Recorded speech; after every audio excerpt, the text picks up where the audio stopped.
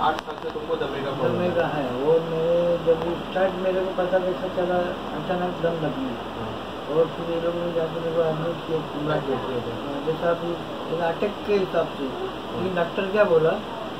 उनको टीबी है। हाँ, अटैक उटैक नहीं है टीबी हो गई है और तुम स्मोकिंग खोज कर रहे स्मोकिंग स्मोकिंग बंद कर दो। तो जब इससे अभी सात आठ साल हो गए बंद हो गया। तो उसके बाद में फिर मेरे को दम लगने लगा ज़्यादा। तो ज़्यादा दम लगा तो फिर दवाई लिया मैंने दो तीन बार डॉक्टर के पास जाके फिर वो डॉक्टर ने वो नहीं है ऐसे कहे तो फिर मैंने बदली किया डॉक्टर को फिर बम्बई में गए वो कम दिए मेरे अब अभी एक साल पहले शुरू हुआ? हाँ एक डेढ़ साल हो गया। डेढ़ साल पहले। तो पंप के साथ में दम कैसे रहता था? तो थोड़ा आराम होता था जब पम लिया ना। हाँ, तो तो वो जैसा वो बोले दो तीन बार लेने का अच्छा उन्होंने कहा था कि आप के बगैर रह सकते हैं या पंप के बगैर आपका नहीं वो जैसा बोली भी देते थे बोली ये कोर्स पूरा हो जाएगा तो तुमको आने की ज़रूरत नहीं पड़ेगी। लेकिन ये पंप को चालू उसके बाद में फिर क्या हो गया अचानक फिर भी मैं अचानक ऐसे बुखार में ज़्यादा बुखार चढ़ गए तो ये लोग ने लिया फिर एडमिट फिर एडमिट किया। फिर वो क्या बोल रहे कार्बन निकाले नली डाल के? हाँ तो वो पहले वो चार वो पाँच छह साल पहले। लास्ट दिसंबर फ़र्स्ट टाइम पे। जब फ़र्स्ट अटैक आया था ना हाँ, तभी वो मामू के पास गए तो मामू ने का- एडमिट हाँ इन्होंने जाके डायरेक्ट भेजे कुमला के पास। तो वो उसने क्या किया? एक हफ़्ते में मेरे को अच्छा कर दिया।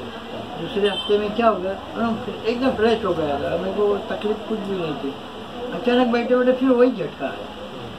फिर वही। दम वाला। हाँ। फिर वापस वहीं गया। तो डॉक्टर बोला पेपरे में थोड़ा कार्बन ज़्यादा जमा है ना उससे वो लीकेज हो गया। तो उसने बोला कार्बन निकाल देगा यहाँ से फिर नली लगा दिया एल लटका दिया।